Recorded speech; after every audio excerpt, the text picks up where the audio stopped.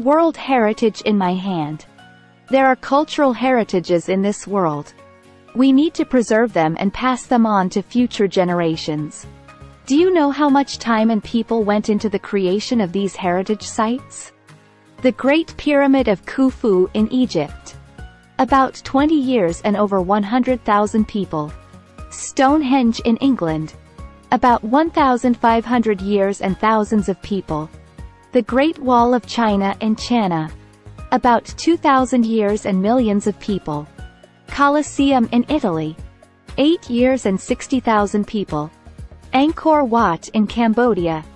About 35 years and over 300,000 people. Notre Dame Cathedral in France. About 200 years. Taj Mahal in India.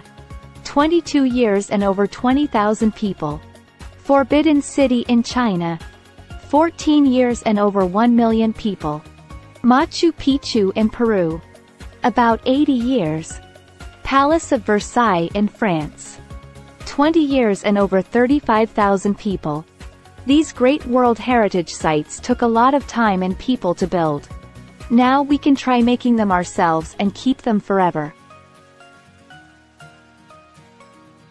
World Heritage in my hand.